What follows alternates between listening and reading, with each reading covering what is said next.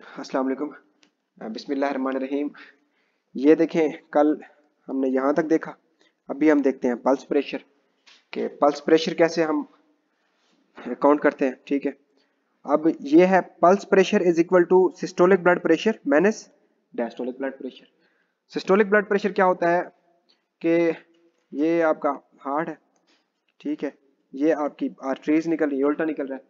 तो जब आपका हार्ट कंट्रैक्ट करता है सिस्टोल कंडीशन में होता है, उस वक्त आपकी आर्टरीज के ऊपर जो प्रेशर होता है, जब वो कंट्रैक्ट कर रहा होता है this is called your systolic blood pressure normally कितना होता है? वन ट्वेंटी और डेस्टोलिक ब्लड प्रेशर कितना होता है? जब आपका हार्ट रिलैक्स कर रहा होता है वेंट्रिकल्स क्या कर रहे होते हैं? रिलैक्स तब इन आर्टरीज के ऊपर इस ब्लड का जो प्रेशर होता है that is called your diastolic blood pressure वो कितना होता है नॉर्मली 80 तो सिस्टोलिक और डेस्टोलिक वैसे बेसिक कंसेप्ट होता है, लेकिन मैंने कहा एक बार फिर भी बता दूँ। तो पल्स प्रेशर क्या होता है? Pulse pressure is equal to systolic blood pressure minus diastolic blood pressure systolic blood pressure कितना है आपका? 120 diastolic 80 the answer will be 40 so your pulse pressure will be 40 वो आपको देगा कि, वो आपको बोलेगा कि एक नॉर्मल इंसान आपके पास आया है। He has a normal blood pressure आगे पीछे घुमाएगा बहुत ज़्यादा कि योर पेशेंट इज़ इतने ईयर ओल्ड ये है, वो है, ये है, वो है and his blood pressure is normal then please tell me that what will be its pulse pressure वो जो आगे पीछे घुमाते हैं, आप वहीं घूम जाते हैं।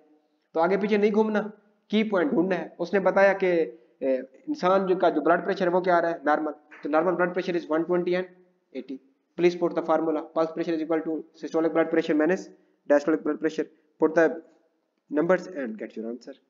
So easy. ठीक है? तो अब अगली बात वो क्या कहता है? वो कहता है कि pulse pressure directly proportional to the stroke volume देखें ये आपका हार्ट है।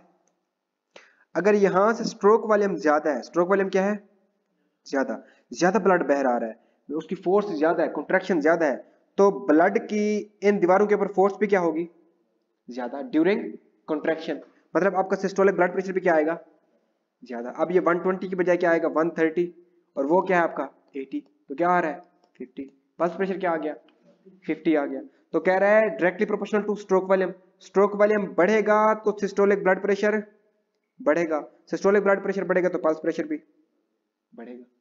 ठीक है? और अगर ये स्ट्रोक वॉल्यूम कम होगा, यानी कॉन्ट्रेक्टिलिटी कम स्ट्रोक वॉल्यूम कम सिस्टोलिक ब्लड प्रेशर कम पल्स प्रेशर कम. कैसे? अगर ये 110 हो जाता है 80 कितना आएगा अब? 30 समझ आ गई चीज़? नहीं समझ आई। आ गई समझ। चले, और वो कहता है कि ये डायरेक्टली प्रोपोर्शनल होता है स्ट्रोक वॉल्यूम के inversely proportional to the arterial compliance आप इसको सोच रहे हैं कि ये क्या होता है? डॉक्टर शहरियार, नहीं सोच रहे इसको। वो कहता है कि ये आपका हार्ट है, ये आर्टरीज है। आर्टरीज की कंप्लायंस का मतलब होता है कि वो कितनी ज़्यादा स्ट्रेच कर सकती है। उसकी स्ट्रेचिंग क्या होती है? देखिए अगर इसकी स्ट्रेचिंग है, अच्छी। इसकी स्ट्रेचिंग क्या है? अच्छी। तो यहाँ से भले मैं जितनी स्पीड से जितना ज़्यादा प्रेशर के साथ ब्लड भेजू, उतनी ज़्यादा आर्टरीज क्या कर देंगी? डायलेट कर जाएँगी। उतनी ज़्यादा क्या कर जाएँगी? यानी इनमें इलास्टिसिटी ज़्यादा है, ये डायलेट कर जाएँगी। तो इनके ऊपर प्रेशर ज़्यादा नहीं पड़ेगा। प्रेशर ज़्यादा नहीं पड़ेगा और प्रेशर नॉर्मल रहेगा। 120 80 तो आपका पल्स प्रेशर 40 नॉर्मल आता रहेगा। लेकिन, मैं इनकी कंप्लेंस कर देता हूँ, कम। क्या कर देता हूँ? कम। इनकी थिकनेस कर देता हूँ, इनकी इलास्टिसिटी खत्म कर देता हूँ। इलास्टिसिटी खत्म।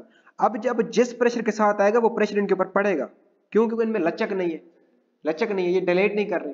तो यहाँ पर सिस्टोलिक ब्लड प्रेशर क्या होगा? ज़्यादा। जब सिस्टोलिक ब्लड प्रेशर ज़्यादा होगा तो अब क्या आ रहा है? 50 पल्स प्रेशर क्या हो गया है? ज़्यादा। यानी आर्टीरियल कंप्लेंट्स नहीं है। इलास्टिसिटी नहीं है। इलास्टिसिटी नहीं है। कंप्लेंट्स नहीं है। यानी कम है।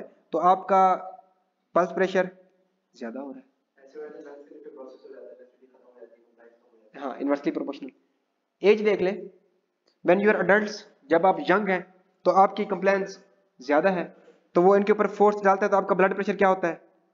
कम होता है। ब्लड प्रेशर क्या सिस्टोलिक ब्लड प्रेशर कम तो आपका, यानी ये नॉर्मल होता है तो आपका पल्स प्रेशर क्या हो रहा होता है? Normal when you are getting old जब आप बूढ़े हो जाते हैं doctor Ayan looking too much worried what happened man it's okay अच्छा जब आप, ये स्टिफनेस हो जाएगी यहाँ पर इलास्टिसिटी खत्म हो जाएगी तो सिस्टोलिक ब्लड प्रेशर बढ़ जाएगा।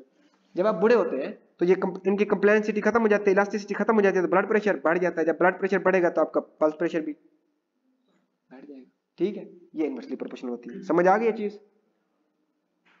समझ आ गई है? पल्स प्रेशर का क्या वो होता है? चलें जी स्पीड मेरी तेज तो नहीं है। ठीक है? तो मुझे रोक दिया करे जहाँ मेरी स्पीड तेज हुआ करे। बाकी वो कहता है pulse pressure increases in hyperthyroidism aortic regurgitation aortic stiffening isolated systolic hypertension in elderly obstructive sleep apnoea increase the sympathetic tone इसमें सिंपैथेटिक टून आपकी बढ़ जाती है, ठीक है? एनीमिया एक्सरसाइज ट्रांजिट मतलब नॉर्मली जो एक्सरसाइज आप करते हैं टेम्परेरी जो करते हैं, उससे आपकी क्या ब्लड प्रेशर क्या हो जाता है? बढ़ जाता है। अब इनको डिटेल्स में नहीं देखते, क्यों, कैसे तो एक लंबा चला जाएगा। बस आप इसको याद करने एक फार्मूले के ज़रिए। फार्मूला क्या है आपका कि example as an student as an art student as an art student is absent. मुश्किल से तो नाम भी तो बहुत ज़्यादा है। Example as an art student is absent तो एग्ज़ाम्पल एग्ज़ाम्पल की ई e एक्स से आपने क्या लेना है? एक्सरसाइज ये किसका फार्मूला है? कि example as an art student is absent so pulse pressure will increase so pulse pressure will increase ठीक है? आठ के स्टूडेंट्स एबसेंट है तो पल्स प्रेशर क्या हो रहा है? बढ़ रहा है। एग्ज़ाम्पल के ई एक्स से एक्सरसाइज क्या एक्सरसाइज करेंगे तो पल्स प्रेशर इंक्रीज होगा। एज ए एस से देखेंगे तो आप देखेंगे कि उसका क्या हो रहा है? योल्टिक स्टिफनिंग योल्टिक स्टिफनिंग हो रही है उसकी। ए से योटिक एस से स्टिफनिंग एन ए एन से आप देखेंगे तो आप कहेंगे उसको एन, एनीमिया उसको क्या कहेंगे? एनीमिया और आठ ए आर से आप देखेंगे योल्टिक रिगर्गिटेशन योल्टिक रिगर्गिटेशन और स्टूडेंट से देखेंगे आप एस टी से तो कहाँ पे चला गया? हाँ सिंपेथेटिक टून आपकी सिंपेथेटिक टून ज़्यादा आ रही होगी।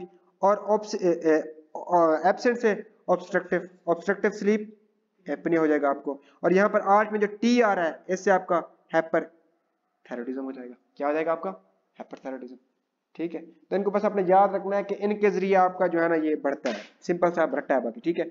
और नीचे कम कैन से होता है? कम होता है आपके के हार्ट फेलियर में आपको क्या हो गया? हार्ट फेलियर हुई। उससे आपको हो गया है जी ए एस सी एस और C T A S C S और सी टी इस तरह आपने याद रखना है कि अगर आपको एडवांस हार्ट फेलियर हो गई है, तब भी आपका पल्स प्रेशर कम होगा। अगर आपको ए एस हो गया एओल्टिक स्टीनोसिस बस ये याद रखना है कि यहाँ पर ए एस का मतलब है एओल्टिक स्टीनोसिस और यहाँ पर ए एस का मतलब है एओल्टिक स्टिफनिंग ठीक है? और सीएस कार्डियोजेनिक शॉक और सीटी कार्डियानिक। टेम्पोनेट ठीक है तो ये बस आपने इस फार्मूले से इनके इनके एग्जांपल याद कर लेनी है बस। बाकी आसान सा है इसमें कुछ मुश्किल है नहीं। रट्टा मारना है। बाकी पल्स प्रेशर आपको मालूम करना आना चाहिए कि मालूम कैसे होता है और ये किसके डायरेक्टली प्रोपोर्शनल होता है और किसके इन्वर्सली प्रोपोर्शनल होता है। आगे देखें। Mean arterial pressure mean arterial pressure is equal to cardiac output multiply by total peripheral resistance ये बस फार्मूला है, आपको इस फार्मूले को बस याद करना है, ठीक है? और mean arterial pressure at resting heart rate जब आपका हार्ट रेट नॉर्मल होता है, जब आप रेस्ट कर रहे होते हैं, उस वक्त कितना होता है? वो कैसे मालूम करना है हमने? वो आप मालूम करते हैं two by three diastolic blood pressure plus one by three systolic blood pressure अब आपका सिस्टोलिक ब्लड प्रेशर कितना होता है नॉर्मल इंसान का? One twenty diastolic blood pressure कितना होता है? एटी तो systolic blood pressure one by three मुझे मालूम करके दे। यानी वन ट्वेंटी बाई थ्री कितना आएगा? फोर्टी ये फोर्टी आ गया। और diastolic two by three eighty divided by three two by three ऐसे two by three multiply by eighty तो कितना आ जाएगा? One sixty divided by three तो almost three five zero fifty कितना आएगा?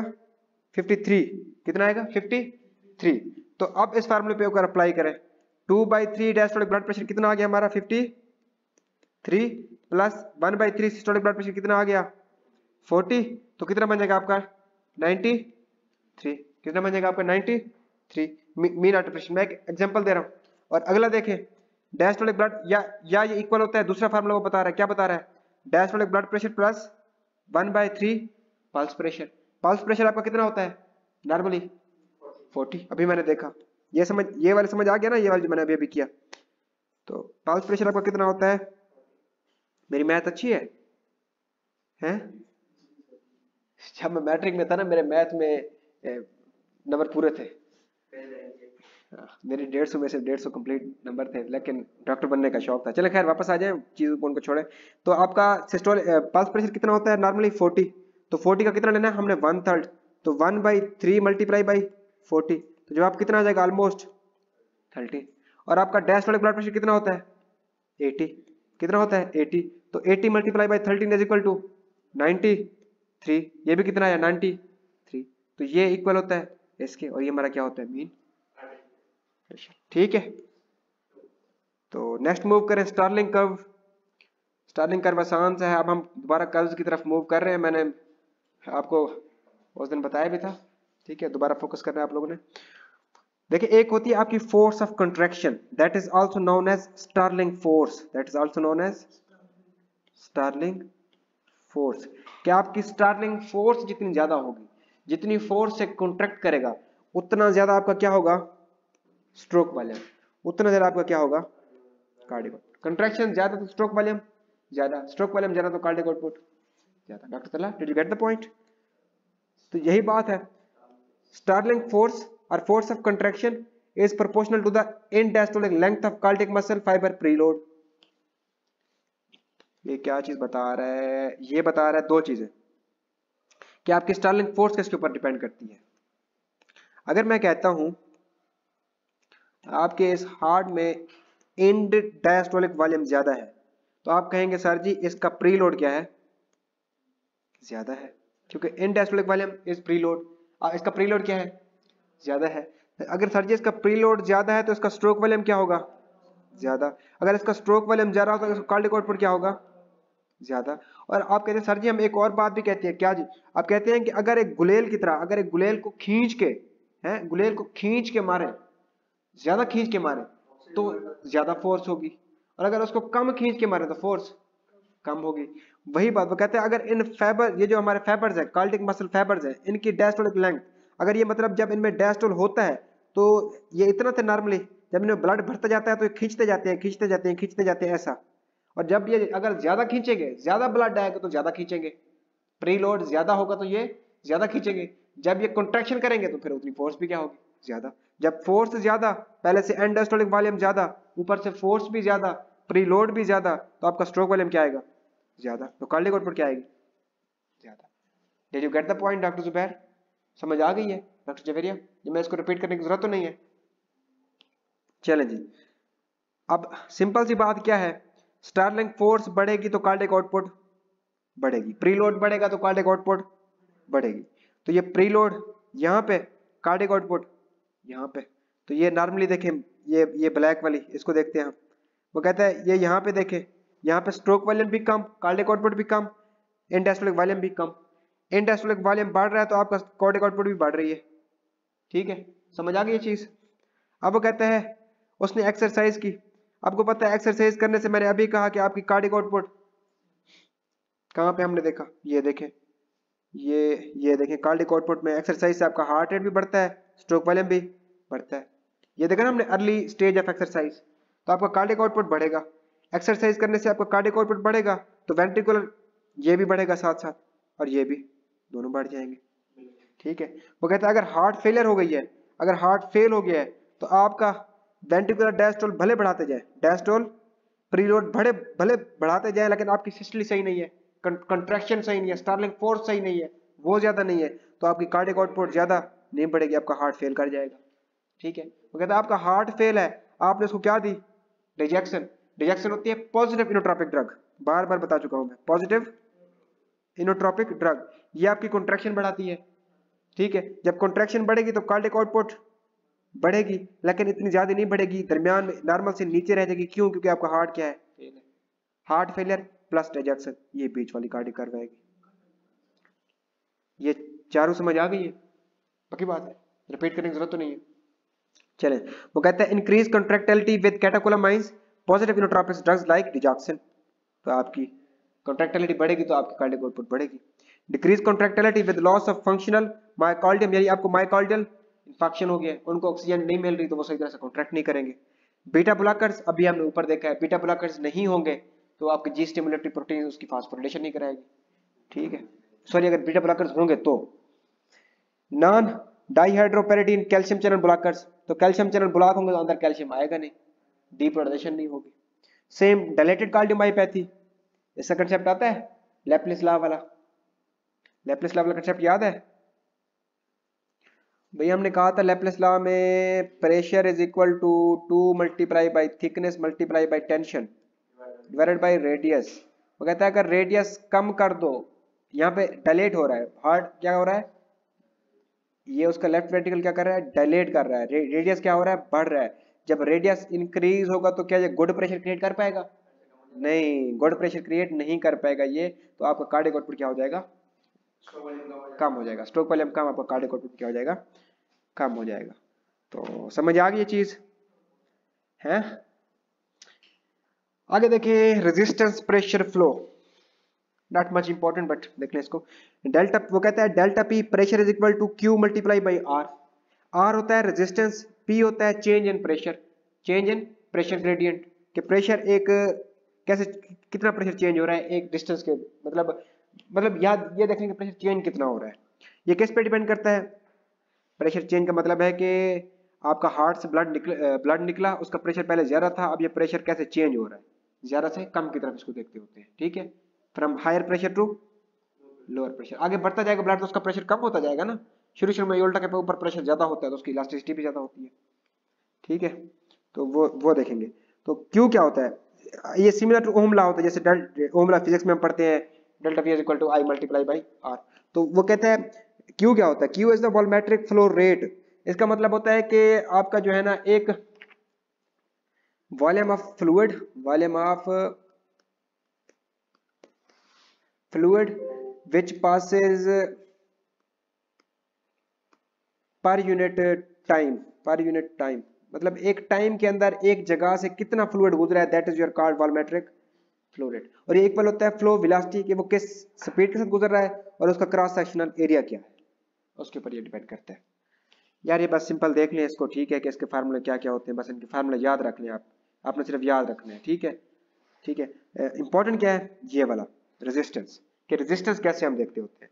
रेजिस्टेंस आपकी डिपेंड करती है ड्राइविंग फोर्स यानी ये वाली force divided by Q divided by Q ये क्यू और ये आगे अगर इसको हम देखें तो ये होता है eight multiply by viscosity multiply by length divided by pi R four बाकी आपके, बाद में देखते हैं, पहले रेजिस्टेंस देख लें, कि सॉरी रेडियस देख लें, कि रेडियस कैसे डिपेंड करता है। वो कहता है कि आपको उसमें देता है कि we have increase the radius half हमने रेडियस अब ये क्या हो गया, आपके रेजिस्टेंस के क्या हो गया? ये इनवर्सली प्रोपोर्शनल ना रेडियस रेडियस फोर इनवर्सली क्योंकि radius is equal to this one and then radius is equal to this one तो आर नीचे आ रहा है ना? तो ये इनवर्सली प्रोपोर्शनल हो गया आर की पावर फोर तो वो कहता है radius is equal to one by मैंने रेजिस्टेंस कर दिए है हाफ़ तो रेजिस्टेंस हाफ़ हो गई, उसकी पावर फोर ऐसे ना, ये रेजिस्टेंस की पर मैंने क्या कर दी? हाफ़ रेजिस्टेंस कर दी. समझ आ रहा है ना? हाफ़ रेजिस्टेंस की उसकी पावर मैंने फोर कर दी. अब इसका क्या आएगा? One by one by sixteen समझ आ रही है चीज़ें? One by one by sixteen अगर हम सिक्सटीन को इधर लेके आएँगे तो सिक्सटीन ऊपर चला जाएगा। R is equal to sixteen by one मतलब आपकी रेजिस्टेंस सिक्सटीन टाइम बढ़ जाएगी। सिक्सटीन टाइम क्या हो जाएगी? बढ़ जाएगी। ये चीज़ समझ आ गई है? कि वो कहते हैं अगर रेजिस्टेंस हाफ़ करेंगे सॉरी रेडियस रेजिस्टेंस नहीं रेडियस हाफ़ करेंगे। रेडियस क्या करेंगे? हाफ़ तो रेजिस्टेंस सिक्सटी टाइम बढ़ जाएगी। मतलब रेडियस और रेजिस्टेंस इनवर्सली प्रोपोर्शनल रेडियस कम करेंगे रेजिस्टेंस बढ़ेगी रेडियस ज़्यादा करेंगे रेजिस्टेंस कम होगी। और ये मैंने एक एग्जांपल दिया है, इस तरह का एमसीक्यू आ सकता है, वो पूछ सकता है आपसे कि अगर मैंने रेडियस हाफ़ कर लिया है तो रेजिस्टेंस के ऊपर क्या इफ़ेक्ट पड़ सकता है? अच्छा जी, वो कहता है total resistance of vessels in series अच्छा वो क्या कहता है? वो कहता है कि मैंने आपको पहले भी ये चीज़ बताई थी, जब हमने फीटल सर्कुलेशन पढ़ी थी, कि सीरीज़ में अगर हम चीज़ें ऐड करते जाए सीरीज़ में कि ये रेजिस्टेंस प्लस दूसरी रेजिस्टेंस प्लस तीसरी रेजिस्टेंस अगर सीरीज़ में हम वैसल्स ऐड करते जाएँगे तो उसकी टोटल जो पेरिफेरल रेजिस्टेंस होगी ना, वो क्या होगी? इंक्रीज वो क्या होगी? इंक्रीज और अगर मैं इसी में से चीज़ें रिमूव करना शुरू कर दूँ, मैंने ये रिमूव कर दिया तो रेजिस्टेंस क्या होती जाएगी? टोटल पेरिफेरल रेजिस्टेंस क्या होती जाएगी? डिक्रीज होती है. डिक्रीज होती जाएगी. समझ आइए चीज़? मैंने क्या कहा? मैंने कहा कि अगर सीरीज़ में पड़े हुए हैं, और मैं वैसल्स बढ़ाता जा रहा हूँ, उनकी रेजिस्टेंस टोटल रेजिस्टेंस बढ़ती जाएगी। और अगर मैं इन्हीं में से रिमूव करता जाऊँ तो पीछे रेजिस्टेंस क्या होती जाएगी? टोटल पेरिफेरल रेजिस्टेंस कम होती जाएगी। अब अगर हम बात करते हैं पैरेलल की, किसकी? पैरेलल की। वो कहते हैं, अगर वैसल्स देखें, ये वैसल सीरीज़ में पड़ी हुई है, ये वैसल ये वैसल ये वैसल सीरीज़ में पड़ी हुई है। रेजिस्टेंस बढ़ती जाएगी। जितनी वैसल्स ऐड करते जाएँगे रेजिस्टेंस बढ़ती जाएगी। जितनी वैसल्स रिमूव करते जाएँगे रेजिस्टेंस कम होती जाएगी। In series but if you talk about the parallel if you talk about in case of parallel तो आप टोटल जो पेरिफेरल रेजिस्टेंस होती है, आप जितना ज़्यादा ऐड करते जाएँगे, जितना ज़्यादा ऐड करते जाएँगे, उतना ज़्यादा कम होती जाएगी। मैं कहता हूँ जी इसकी दो थी, आप कहते हैं सर जी इसकी भी दो थी, मैं कहता हूँ इसकी चार थी। अब इसका इसका जवाब निकालो, कितना आएगा इसका जवाब? इसका, ये फोर आएगा नीचे, है? Two divided by two two आएगा two plus two plus equal to one, कितना आएगा आपका फाइव बाई फोर? और इसी को मैं कहता हूँ, मैं एक और ऐड कर देता हूँ, वन बाई फोर। तो इस, इसका भी क्या आएगा? Four, two two, one plus one, अब क्या आएगा? Six by four. किसका जवाब ज़्यादा आएगा? इसका कि इसका? पहली वाले का, दूसरी वाले का जवाब ज़्यादा आएगा? आप कहेंगे? दूसरी वाले का जवाब ज़्यादा आएगा, लेकिन वो नीचे है। ठीक है? जितना ज़्यादा नीचे आएगा, जवाब उतना ज़्यादा कम आएगा। समझ, चीज़ समझ आई है ये आपको? ये मैथ के रूल है जरा। नहीं समझ आई? आ गया ना समझ? तो सिंपल सा कंसेप्ट मैं क्या देना चाहता हूँ आपको कि मैं इसको साफ़ कर देता हूँ। सिंपल सी आपको एक चीज़ समझाता हूँ सिंपल सी। आप वो बात याद रख लें बस। ये मैं कंसेप्ट करने की कोशिश कर रहा था। अगर आपने गेन कर लिया तो वेल एंड गुड नहीं गेन किया तो इट्स ओके मैं इसको साफ़ कर लू। वो कहते हैं वेसल्स सीरीज़ में ऐड करते जाए। वेसल सीरीज़ में resistance total peripheral resistance will increase series में वेसल्स रिमूव करते जाए। Vessels remove your resistance will decrease okay अब बात करते हैं पैराडल की। पैराडल कैसे होती है? ये ऐसे। वो कहता है पैराडल में वेसल्स इंक्रीज करते जाए। वेसल्स इंक्रीज करते हैं रेजिस्टेंस विल डिक्रीज और अगर पैराडल में वेसल्स रिमूव करते जाए रेजिस्टेंस इंक्रीज उलट है सारा। समझ आ है ये बात? डॉक्टर चला समझ आ गई है ना? चलें, आगे मूव करते हैं। ये इसकी रीडिंग मैंने करा ली है इसकी? नहीं हुई? चले। वो कहता है capillaries capillaries have highest total cross sectional area and lowest flow velocity वो कहते हैं, उनमें ब्लड की जो वेलोसिटी होती है, वो क्या होती है? लो उनका क्रॉस सेक्शनल एरिया ज़्यादा। आप कहेंगे क्रॉस सेक्शनल एरिया कैसे ज़्यादा होता है? तो ये आपकी एक आर्टरी है। और एक आर्टरी कितनी फिर कैपलरीज में थी जाती है? बहुत ज़्यादा में ना तो अगर हम एक आर्टरी की क्रॉस सेक्शनल एरिया देखें तो वो कम नज़र आ रहा है, लेकिन यहाँ से यहाँ तक एरिया क्या है? क्रॉस सेक्शनल ज़्यादा। और आर्टरी का क्या है? कम। तो कैपलरीज का क्रॉस सेक्शनल एरिया क्या होता है? ज़्यादा। हाँ और उसमें आपकी जो लोएस्ट फ्लो वेलोसिटी वेलोसिटी क्या होगी उसमें? स्लो नेक्स्ट क्या है? नेक्स्ट है pressure gradient drives from high pressure to low pressure ये मैंने बताया था। ठीक है? आर्ट्रियोल्स अकाउंट फॉर अब अगर हमने रेजिस्टेंस चेक करनी है तो हम कहाँ देखते हैं? आर्ट्रियोल्स में। रेजिस्टेंस कहाँ देते हैं? आर्ट्रियोल्स में। और veins provide most of blood storage capacity मैंने कहा था वेन्स में फोर लीटर तकरीबन फोर लीटर ब्लड क्या हो रहा था? स्टोर हो रहा है। ठीक है तो ये आर्ट्रियोल्स अगर बात करें तो वो टोटल पेरिफेरल रेजिस्टेंस वहाँ से मालूम करते हैं। वेन्स की बात करें तो वहाँ पर हम ब्लड की स्टोरेज देखते हैं कि ब्लड वहाँ पर स्टोर कितना हुआ हुआ है। ठीक है? ये एमसीक्यूज है बस। कि हम टोटल पेरिफेरल रेजिस्टेंस कहाँ चेक करेंगे? आर्ट्रियोल्स में। और ब्लड स्टोरेज कहाँ चेक करेंगे? वेन्स में।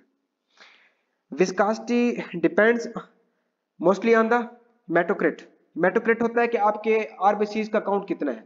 अगर आरबीसीज का काउंट ज़्यादा है तो मतलब आपका ब्लड क्या होगा? गाढ़ा होगा। है ना? उसकी विस्कासिटी ज़्यादा होगी। तो उसकी viscosity viscosity increases in hyper proteinemic state मतलब जब आपकी प्रोटीन्स उसमें ज़्यादा होंगी, आपके आरबीसीज ज़्यादा होंगे प्रोटीन ज़्यादा होंगी मेटोक्रेट वैल्यू ज़्यादा आएगी तो आपका विस्कासिटी भी क्या होगी? ज़्यादा। ब्लड गाढ़ा होगा। ये बात समझ आ गई है डॉक्टर नदीम? उसके बाद मल्टीपल माइलोमा अगर आपको कैंसर होगा और पोलिसथीमिया आपके आरबीसीज ज़्यादा आरबीसीज आपके इसमें भी कैंसर होता है कि आपके आरबीसीज ज़्यादा बन रहे होते हैं बोन मैरो से। जब आरबीसी ज़्यादा तो फिर वही हेमाटोक्रिट वैल्यू ज़्यादा तो आपकी विस्कासिटी ज़्यादा। हम्म। तो ये polycythemia polycythemia is the increase in RBCs is the increase in RBCs because bone marrow increase the production of RBCs viscosity decreases in anemia. जब एनीमिया होगी तो आरबीसीज क्या हो जाएँगे? कम। तो आपका हेमाटोक्राइट वैल्यू कम आएगी तो आपको विस्कासिटी भी क्या होगी? कम। Did you get the point अब ये वही वाले कर्व्स हैं, इनको मैं दोबारा रिपीट करूँ? जल्दी जल्दी रिपीट कर देता हूँ। देखिए, पहले इंट्रोपी देखते हैं। इंट्रोपी में हम देखते हैं कार्डिक फ़ंक्शन कर्व आज सिंपल करके बताता हूँ, बिल्कुल सिंपल वो कहते हैं राइट एट्रल प्रेशर बढ़ता जाएगा। राइट एट्रल प्रेशर बढ़ता जाएगा। जब राइट एट्रियल प्रेशर एक बार बता देता हूँ बस, जल्दी जल्दी, फिर मैं दोबारा नहीं बताऊँगा इसको, गौर से सुनना। जब राइट एट्रल प्रेशर बढ़ेगा तो यहाँ ब्लड ज़्यादा आएगा, है ना? यहाँ से लंग्स में ब्लड इधर भी ब्लड और इधर भी ब्लड जब ब्लड ज़्यादा आएगा तो उसकी इंजेक्शन भी क्या होगी? तो आपकी कार्डिक आउटपुट क्या आएगी? ज़्यादा। ये कंसेप्ट अब आप लोग भूले ना। मैंने रिपीट नहीं करना इसको आप ठीक है? फिर ये कर्व समझ नहीं आती। वो कहता है, यहाँ से हमने शुरू किया राइट एट्रियल प्रेशर बढ़ता गया तो आपकी कार्डिक आउटपुट और एक वक्त आया कार्डिक फ़ंक्शन कर्व क्या होगी? कांस्टेंट क्योंकि मजीद मैक्सिमम फीलिंग हो चुकी है, मजीद आगे नहीं हो सकता। अब वो कहता है, मैंने दी पॉजिटिव इनोट्रॉपिक ड्रग कौन सी? Changes in contractility altered stroke volume altered cardiac ये वो क्या बता रहे हैं, मैं बताता हूँ। कहते हैं, मैंने कैटोकोलामाइंस डाइजॉक्सिन या फिर एक्सरसाइज की है। मतलब आपकी पॉजिटिव इनोट्रॉपी हुई है। अब इसमें वो क्या कह रहा है? वो कहता है, जब ये होगा तो आपकी कॉन्ट्रेक्शन बढ़ जाएगी। कॉन्ट्रेक्शन बढ़ जाएगी, आपका अब राइट राइट एट्रियल प्रेशर जैसे बढ़ता जाएगा, आपकी कार्डिक आउटपुट ज़्यादा हो जाएगी। यहाँ पर, अब ये पॉइंट यहाँ पे था, अब पहले इतनी आ रही थी कार्डिक आउटपुट तकरीबन कोई फाइव लीटर अब यहाँ तक आ रही है। हालाँकि पहले राइट एट्रियल प्रेशर यहाँ पे था, पहले ज़्यादा राइट एट्रियल प्रेशर पे फाइव लीटर आ रहा था। अब कम राइट एट्रियल प्रेशर पे ज़्यादा कार्डिक आउटपुट आ रही है है ना? क्यों? क्योंकि हमने उसको पॉजिटिव इनोट्रॉपिक ड्रग दी है डिजॉक्सिन दी है, उसने उसकी कॉन्ट्रेक्टिलिटी फोर्स बढ़ा दी है। कॉन्ट्रैक्शन ज़्यादा तो स्ट्रोक वाले में ज़्यादा स्ट्रोक वाले में ज़्यादा तो कार्डिक आउटपुट ज़्यादा। Did you get the point no second thing अब वो दूसरी बात करता है। दूसरी बात वो करता है आपकी नेगेटिव इनोट्रॉपी कहते हैं heart failure with reduced ejection fraction ejection fraction कम है हार्ट फेल हो चुका है आपका। नार्कोटिक ओवरडोज या सिंपैथेटिक इनिबिशन यानी कि आपने उसको क्या दी?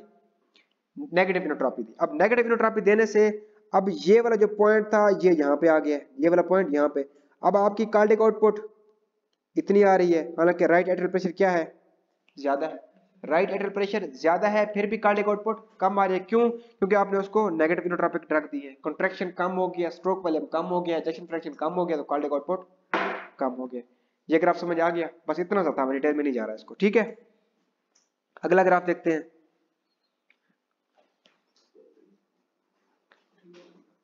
अगला ग्राफ आपका क्या कहता है? अगला ग्राफ कहता है विनस रिटर्न अब एक बार विनस रिटर्न वाला कंसेप्ट दे देता हूँ आपको, ठीक है? ये आपके, ये ये, अब वेनस रिटर्न देखते हैं। वो कहता है कि वेनस रिटर्न अगर राइट एट्रियल प्रेशर होगा, ज़्यादा। राइट एट्रियल प्रेशर ज़्यादा। तो वेन्स को ब्लड वापस डालने में डिफिकल्टी होगी तो आपका वेनस रिटर्न क्या होगा? कम। इनवर्सली प्रोपोर्शनल होंगे। ठीक है? और वो कहते हैं, अगर विनो डायलेटर्स देते हैं विनो लाइट नाइट्रो ग्लिसरीन तो आपकी ये जो वेन्स है, ये क्या कर जाएँगी? डायलेट यहाँ पर ब्लड की पुलिंग होगी तो वेनस रिटर्न क्या हो जाएगा? कम। वेनस रिटर्न क्या हो जाएगा? नाइट्रोग्लाइसिन देने से विनो डायलेटर देने से। और विनो कंस्ट्रिक्टर देते हैं। क्या देते हैं? विनो कंस्ट्रिक्टर तो उससे आपका वेनस रिटर्न क्या हो जाएगा? बढ़ जाएगा। वेनस क्या हो जाएगा? बढ़ जाएगा। ठीक है, ये समझ आ गई है? आप नीचे देखें। और इसी तरह मैंने ये भी बताया था कि अगर ब्लड वॉल्यूम बढ़ेगा तो वेनस रिटर्न बढ़ जाएगा ब्लड रिड्यूस हो जाएगा तो वेनस रिटर्न कम हो जाएगा। याद है आपको चीज़ें ये? अच्छा वेनस रिटर्न चेंजेस अच्छा यहाँ से देखते हैं। वो कहता है, ये थी नॉर्मल आपकी। ये तो आपकी वो हो गई। वो कहता है, ये आपका 6.5 मीन आर्टिरियल प्रेशर था। ये मैंने बताया था कैसे निकालते होते हैं। ठीक है, वो टोटल जो प्रेशर होता है, उसका मेन जो प्रेशर होता है आपकी सिस्टेमिक जो प्रेशर होता है, वो मीन आर्टिरियल प्रेशर 6.5 नॉर्मल होता है। अब, इतना आप देख लें, बस 6.5 नॉर्मल होता है। अब जैसे जैसे राइट एट्रियल प्रेशर कम होगा, वैसे वैसे आपका वेनस रिटर्न बढ़ता जाएगा। मैंने अभी बताया है कि राइट एटल प्रेशर कम होगा तो वेनस रिटर्न बढ़ता जाएगा। ये इस तरफ़ राइट एटल प्रेशर कम हो रहा है ना, और इस तरफ़ वेनस रिटर्न बढ़ रहा है, वो बढ़ रहा है। ठीक है? वेनस राइट एटल प्रेशर कम हो रहा है और वेनस रिटर्न क्या हो रहा है? बढ़ रहा है। वो कहते हैं, अब मैंने ब्लड वॉल्यूम बढ़ा दिया, या वेनस टून दे दी, यानी कि वेजो कंस्ट्रिक्टेड ड्रग दे दी। क्या कहता है? कहता है फ्लूड इन्फ्यूजन की, यानी ट्रांसफ्यूज किया, उसके अंदर ब्लड को डाला ब्लड का वॉल्यूम बढ़ा दिया, या मैंने सिंपैथेटिक एक्टिविटी बढ़ा दी वेजो कंस्ट्रक्शन कर दी। तब क्या होगा? वो कहता है कि आपकी वेनस रिटर्न बढ़ जाएगा। पहले वेनस रिटर्न इतना था, अब वेनस रिटर्न इतना है। हालाँकि यहाँ पर आपका राइट एटल प्रेशर कम था, यहाँ पर राइट एटल प्रेशर ज़्यादा आ रहा है ना? अगर राइट एटल प्रेशर ज़्यादा हो तो आपकी वेनस रिटर्न कम होना चाहिए। लेकिन यहाँ पर बढ़ा हुआ आ रहा है। क्यों? क्योंकि आपने ब्लड वॉल्यूम बढ़ा दिया पीछे से और उसकी वेजो कंसिस्टेंट रख दी हुई है उसको। Did you get the point doctor Javeria next next वो कहते हैं कि मैंने आप उसको क्या दिए एक्यूट हेमरेज मतलब ब्लड वॉल्यूम क्या हो गया? कम. ब्लड वॉल्यूम कम. और मैंने उसको स्पाइनल एनेस्थीसिया यानी उसका क्या किया उसको? उसको पैरासिम्पैथिक ड्रग्स दिए, उसको मैंने उसकी वो कर दिया है। आप आप ऐसे समझिए, उसको मैंने विनोडालेटर ड्रग ड्रग दे दिया विनस्टून कम कर दिया। तो इसमें क्या होगा कि आपका ये कर्व यहाँ पे आ जाएगी। अब ये पॉइंट यहाँ पे आ गया, अब ये यहाँ पे, और ये और ये आपका यहाँ पे। अब देखिए रेड एटर प्रेशर कम है राइट एटर प्रेशर कम है ना इनकी, इसकी निस्बत। और लेकिन वेनस टर्न फिर भी कम है। क्यों? क्योंकि हमने विनो डायलेटर्स दिए ब्लड की पुलिंग हो गई है। वेनस टर्न क्या हो गया? कम हो गया। डिड यू गेट समझ आ गई चीज़? है पक्की बात है। अब हम कहते हैं टोटल पेरिफेरल रेजिस्टेंस के ऊपर देखते हैं। वो कहते हैं, ये दो नॉर्मल कर्व्स देख लें। वो कहता है increase cardiac output increase with right atrial pressure increase right atrial pressure और कार्डिक आउटपुट डायरेक्टली प्रोपोर्शनल होते हैं। ये पॉइंट वो कहता है, यहाँ से राइट एटल प्रेशर कम होता गया वेनस रिटर्न बढ़ता गया। तो हमें ये पॉइंट मिला। This is called your operating point कि इसके ऊपर तकरीबन आपका राइट एटल प्रेशर टू होता है या टू पॉइंट समथिंग होता है और आपका वेनस रिटर्न और आपका कार्डिक आउटपुट इक्वल होते हैं फाइव लीटर कि आपके ब्लड में फाइव लीटर ब्लड आ रहा है और फाइव लीटर क्या हो रहा है? इजेक्ट हो रहा है। ठीक है? अब अब वो कहता है, मैंने टोटल पेरिफेरल रेजिस्टेंस कम कर दी। टोटल पेरिफेरल रेजिस्टेंस कम कर दी। तो स्ट्रोक वॉल्यूम बढ़ेगा कि कम होगा? ऑफ़ कोर्स क्योंकि हमने क्या कम कर दिया उसकी? रेजिस्टेंस कम किया रेजिस्टेंस कम किया तो ये पॉइंट यहाँ पे चला जाएगा, उसकी कार्डिक आउटपुट बढ़ जाएगी। अब कार्डिक आउटपुट भी बढ़ गई है और वीनस रिटर्न भी बढ़ गई है। अब ऑलमोस्ट छह लीटर वीनस रिटर्न आएगा और छह लीटर क्या होगा? कार्डिक आउटपुट होगी। दोनों चीज़ें बढ़ गई है। अब वो कहते हैं, अगर मैंने दिए हैं वेजो आर्टीरियो कंस्ट्रिक्टर उसकी कंस्ट्रक्शन बढ़ा दिया तो रेजिस्टेंस क्या हो जाएगी? बढ़ जाएगी। जब रेजिस्टेंस बढ़ेगी तो कार्डिक आउटपुट और वीनस रिटर्न दोनों क्या हो जाएँगे? कम। और ये राइट एटल प्रेशर उतना ही रहेगा जितना था। ये वो बातें बता रहे आज कर्व समझ आ गई है? हैं? ये वाला? ये देखें, वो कहते हैं, अगर मैंने उसको आर्टीरियो कंस्ट्रक्टर दी है तो आर्टरीज कंस्ट्रक्ट करेंगे उनके रेजिस्टेंस बढ़ जाए। जब रेजिस्टेंस बढ़ेगी तो कार्डिक आउटपुट कम, और वेनस रिटर्न भी कम। लेकिन ये वाला पॉइंट वही रह जाएगा। ये भी इधर ही था, इधर ही है पॉइंट ठीक है? समझ आ गया? तो ये वो बता रहा है कि वेजो प्रेशर यानी कि वेजो आर्टीरियो कंस्ट्रिक्टर ठीक है? और ये एक्सरसाइज या फिर एविशेंट यानी आपने आर्टीरियो डायलेटर्स दिए उसको। आज समझ आ गया? Changes often occur in tandem and may be reinforcing exercise, increase entropy and total peripheral resistance to maximize यानी एक्सरसाइज से आपकी पॉजिटिव एंट्रोपी बढ़ती है, ठीक है, और ये चीज़ ऊपर की तरफ़ जाती है और आपकी ये होती है टोटल पेरिफेरल रेजिस्टेंस कम होती है, यानी इस तरफ़ इस तरफ़ मूव कर जाता है, ठीक है? तो कार्डिक आउटपुट बढ़ जाती है। Are compensatory heart failure heart failure से आपका डिक्रीज इनोट्रॉपिक और फ्लूइड रिटेंशन प्रीलोड इंक्रीज होता है to maintain the cardiac output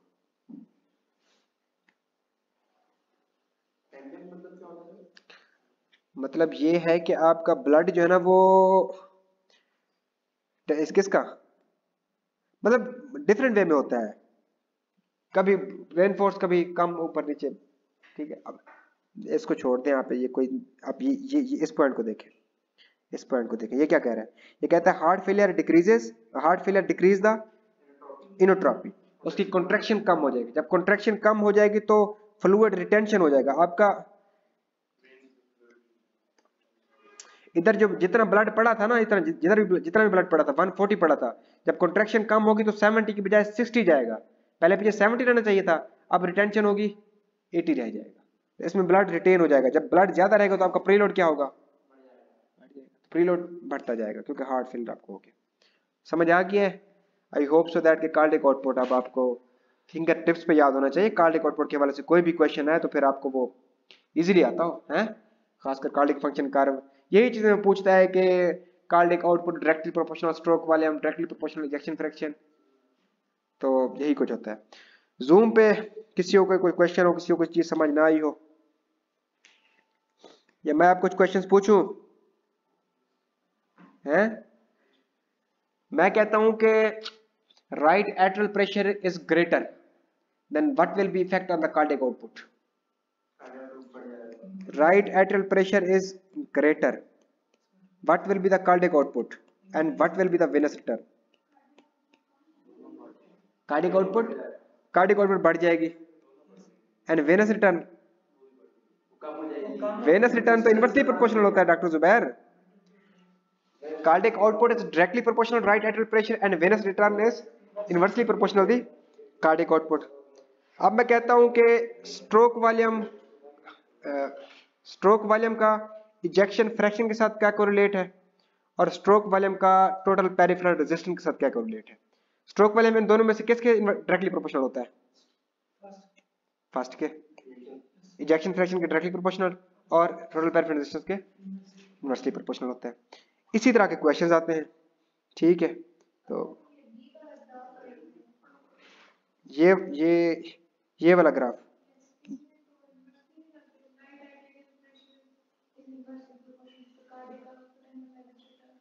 no no no no देखिए कार्डिक फ़ंक्शन कर्व ये वाली है। राइट एटल प्रेशर इस तरफ़ बढ़ रहा है तो कार्डिक आउटपुट भी बढ़ रही है। ठीक है? और अगर राइट एटल प्रेशर और वेनस रिटर्न का कोरिलेट देखें तो इस तरफ़ राइट एटल प्रेशर कम हो रहा है, ये वेनस रिटर्न है। इस तरफ़ राइट प्रेशर कम हो रहा है, लेकिन वेनस रिटर्न बढ़ रहा है। तो इनवर्सली प्रोपोर्शनल ठीक है? तो ये चीज़ें थी, आसान सी थी कार्डिक आउटपुट मुझे होप है कि ये करने के बाद आपने, आप बुक पढ़े या ना पढ़े, जितना आपने सुन लिया है ना कार्डिक आउटपुट के हवाले से यूएस में कहीं भी, जितना जो भी क्वेश्चन आ जाए you will be able to understand that you will be able to solve that ठीक है? क्योंकि आपके माइंड में बार बार चीज़ें डाल डाल डाल डाल डाल डाल के अब मैंने वो चीज़ें इंशाल्लाह ताला वो डाल दी हैं कि अब आपको ये भूलेगा नहीं।